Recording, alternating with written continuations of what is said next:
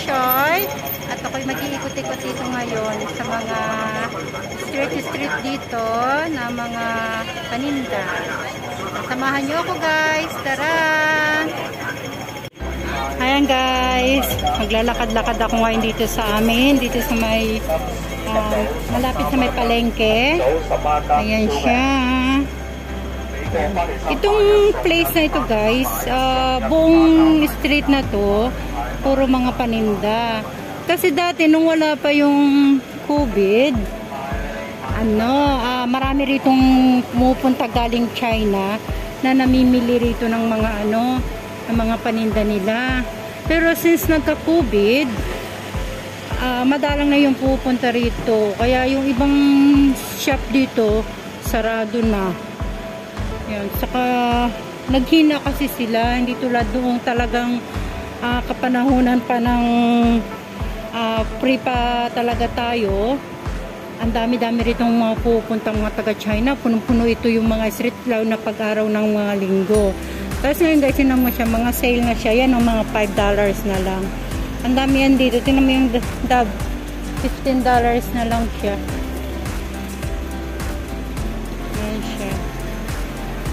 $15 na lang. Ayan. Eh, ang original price nito guys, nasa $25. Lotion yan siya. Kailan na expiration? Titingnan ko yung expiration eh. Ayan siya. Ayan siya guys. Ayun. Daanan din ito kasi namin sasakyan. Ang daming sale. Ayan. Masarap mamili rito guys kasi makakakita ka talaga rito ng mga murang paninda. Yung mga pampabox. Nakabili nga ako rito ng ano eh, ng eyeliner. Tag $5 lang siya. Ayan siya. Hanggang doon yung sa do, kabilang place. Ayan siya. More on shop yan dito eh. Kaya pag mga magpapabox, dati noon, dito ako umiikot nung uh, first two years ko rito kasi mahilig ako magpa-box noon. Pero ngayon, hindi na. Tulad nito guys, sarado na. Yung mga nagkararally dito noon, ito sinunog ito, itong sasa na yan. Sinunog yan siya noon. Ayan o, oh, marami ng sarado. Hmm. Dati, punong-puno to eh.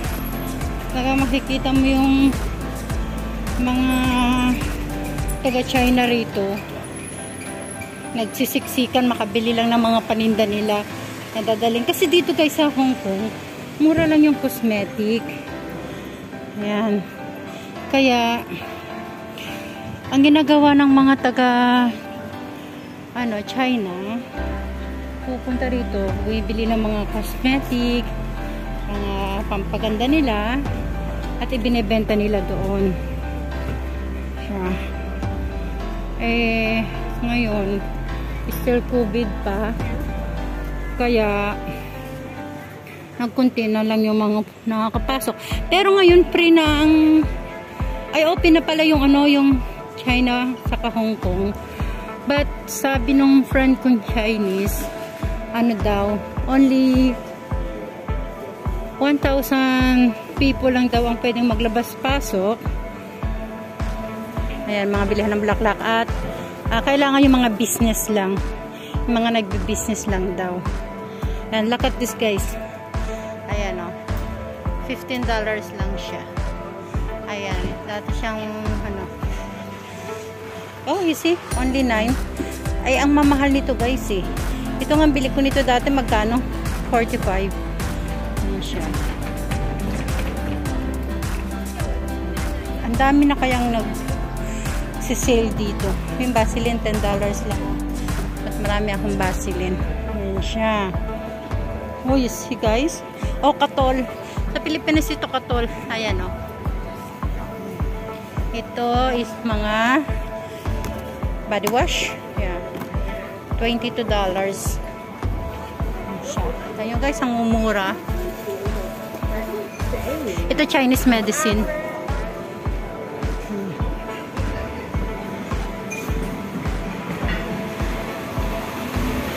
Ayan siya. Iikot ako dito guys kasi yung alaga ko nasa English school. Ngayon, inintay ko siya ng isang oras. Ay uuwi sana ako. Sabi ko mag-ikot-ikot na lang ako ng may ma-vlog. Ito guys, mga pang sabaw-sabaw ng mga Chinese. Yan. Ang inahalo nila sa mga sabaw-sabaw. Ito hindi ko alam kung paano to kainin. Ang dami-dami nito sa bahay. Itong ano na to.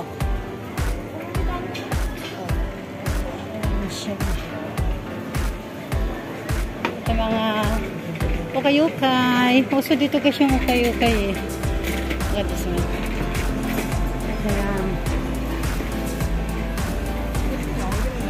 Hanggang doon nito guys sa dulo. Ayan. Ikutin natin. Wala may pusa. Oh.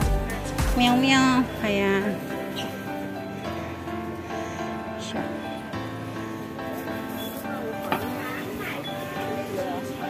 Ayan siya guys.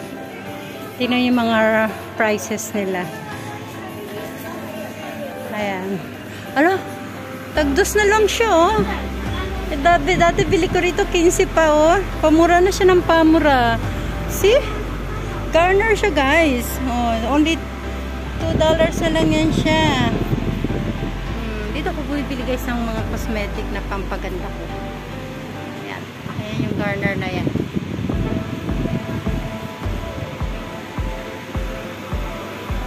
Ayan siya. Eh, yung mga cosmetic shop talaga guys mga bagsak presyo sila kasi yung iba malapit na mag-expire. Kaya kailangan na nilang anuhin, i-dispose. Kaya katulad nun yung Garner na yon last few months ago ang bili ko pa doon is $15 ngayon $2 na lang oh. Ayan mga sapatos.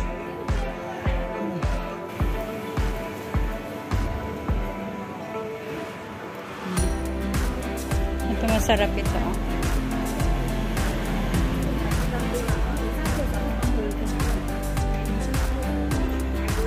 shoes. Pillow. Hanggang doon. Yung karamihan doon guys ang sarado na talaga. Yan dito tayo. Siya. Ito mga okay okay okay okay 5 dollars 10 dollars 20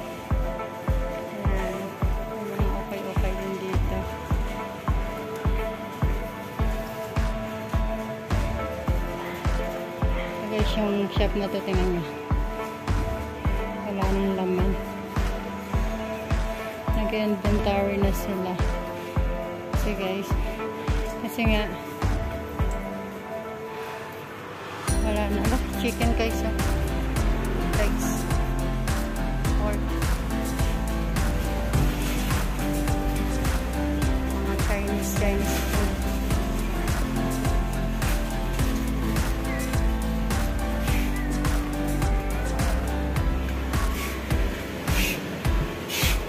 Rakison guys. Body therapy, $10. Hmm. What is that? Preparing lips, lip sleeping mask. Oh, $10 lang siya.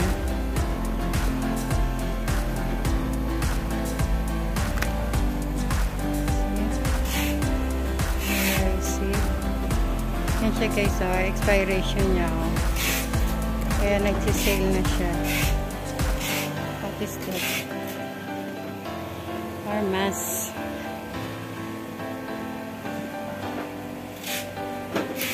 twenty-one. Ang dami ng fire. Okay guys. Ay, pagawan ko lang ng susi ito. Ito, okay-okay. Ayan,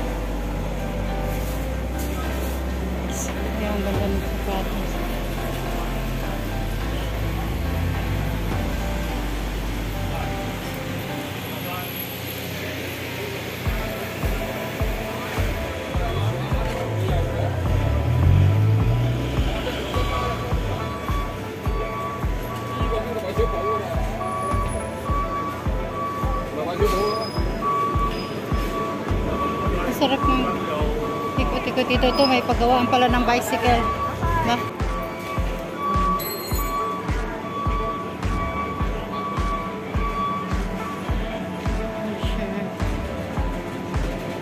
Yung baking soda nila.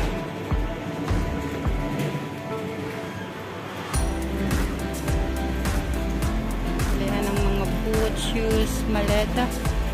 320 ka na lang kaliit.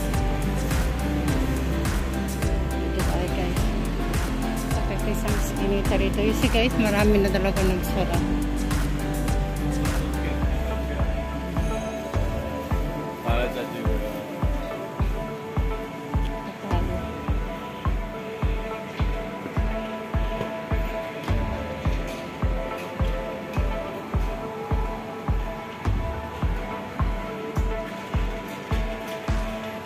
Ang po ang mga skinita. Ito pet shop.